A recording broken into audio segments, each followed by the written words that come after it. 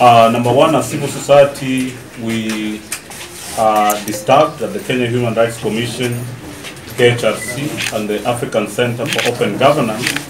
AFRICOG,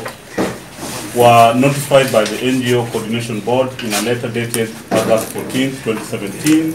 signed by one Fazul Muhammad, uh, communicating the decision to deregister the two organizations for various lapses that from our own uh, assessment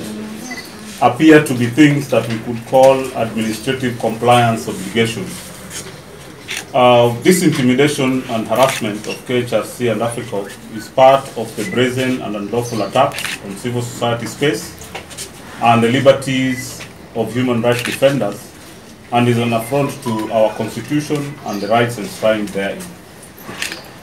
AFRICOG and KHRC, for those who don't know, are well-respected human rights organizations that advocate for the promotion of human rights, good governance, democratic values, and social justice in the country.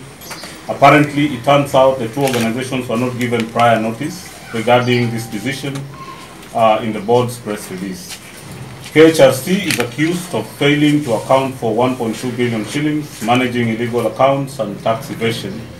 whereas AFRICOG on its part is accused of operating illegally and in direct contravention of Section 22, Part 1 of the NGOs Coordination Act of 1990. These demands and orders, in our view, constitute illegal, unwarranted, and divisive administrative stalking and harassment of CSOs.